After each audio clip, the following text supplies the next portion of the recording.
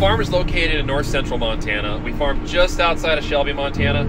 A small town. I grew up my whole life here, went to high school here, and it's a, it's a nice little town. A lot of really good people here. So it all began back in 2011 we started throwing up some videos on YouTube thinking it'd be kind of fun to show some of the farm operations, some of the fun things we do on the farm. Little did I know that there would be a lot more people that would like it than I thought. So as we started to put more videos up, things started happening, whether it was a builds that we were doing in the shop, some of these classic tractors that we have, the big bud tractors that became world famous, and all these little bits and pieces came together and they just put a spotlight on us. Nick was always on his phone and uh, we had work to do and then he wanted to stop and get the camera out to record this stuff.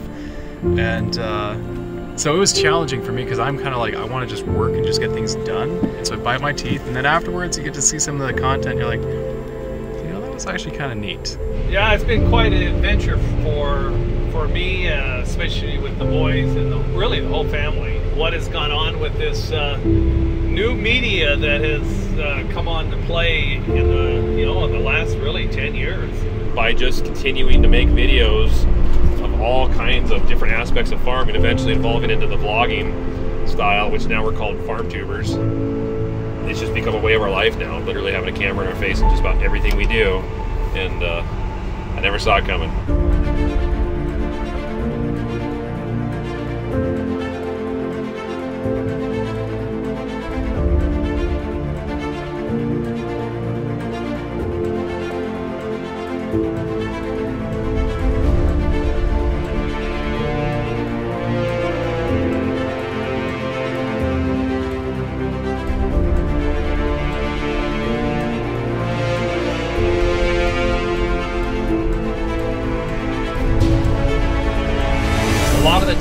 My face is what people see. I'm the one that started the channel, so a lot of people think, well, it's it's it's it's about Nick Welker. Well, it's really not.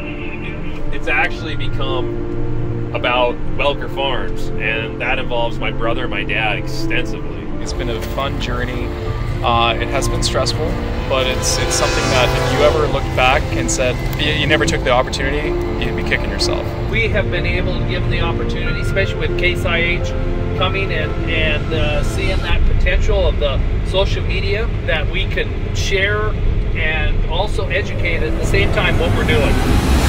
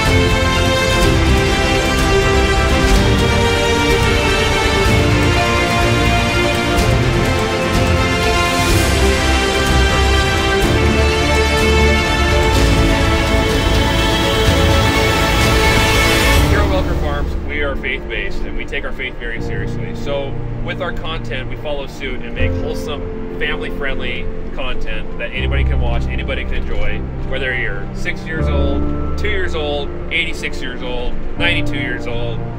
It's content that we want everybody to be able to have fun and enjoy and say, hey, that was pretty cool, that was pretty fun. Everything we do and say is a reflection of our faith.